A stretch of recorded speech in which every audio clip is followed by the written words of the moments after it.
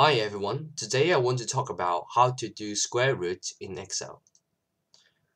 So if I want to return the square root value of the cell A1, which is 16, I need to enter the function sqrt, which stands for square root, and then specify the cell, which is A1, and then enter, and it will return that the square root of 16 is 4. So for the second row, if I want to find the uh, value of 14, the square root value of 14, alright, I'll just copy it down.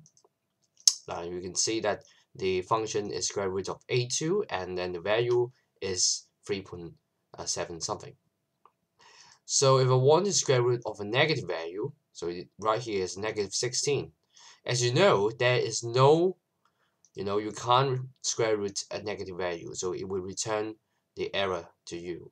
That meaning that, that this is an imaginary number you can't take the square root of that. So this is basically how you get a square root and thanks for watching and remember to subscribe our youtube video if you find it useful